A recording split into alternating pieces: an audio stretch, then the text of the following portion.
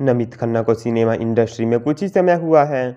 इन्होंने कुछ ही प्रोजेक्ट्स में काम करके खूब नाम कमाया है। तो चलिए जानते हैं नमित खन्ना अब तक किन किन टीवी शोज़, वेब सीरीज़ और मूवीज़ में नज़र आए हैं।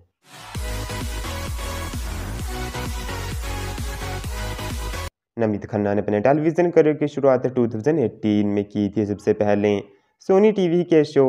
ये प्यार नहीं तो क्या है में सिद्धांत सिन्हा का रोल किया। जिसमें कि ये लीड रोल करते नज़र आए। इसके बाद इन्होंने स्टार प्लस के शो, संजीवनी सीज़न टू में डॉक्टर सिद्धांत माथुर, यानी कि सिद्ध का रोल किया। इस शो में भी ये लीड रोल ही करते नज़र आए। नमित खन्ना ने इनके अलावा ज़्यादा शोज़ में काम नहीं किया।